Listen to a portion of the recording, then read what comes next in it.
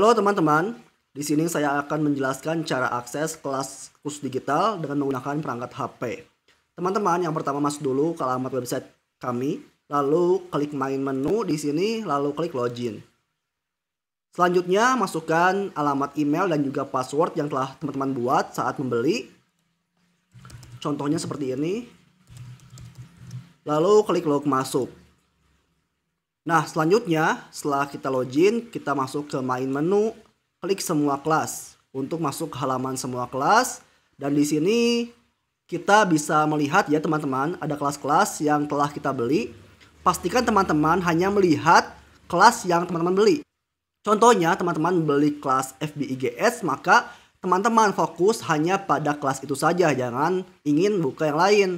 Nah, di sini di kelas yang kita telah beli itu ada tombol akses materi. Kita klik.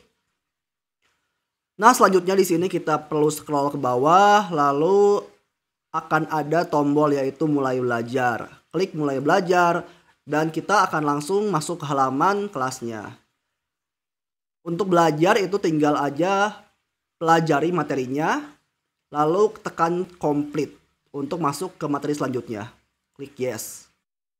Seperti itu teman-teman. Jadi silakan aja pelajari semuanya. Kalau mau loncat materi bisa klik tombol panah melayang di sebelah kiri untuk melihat kurikulum dari kelasnya.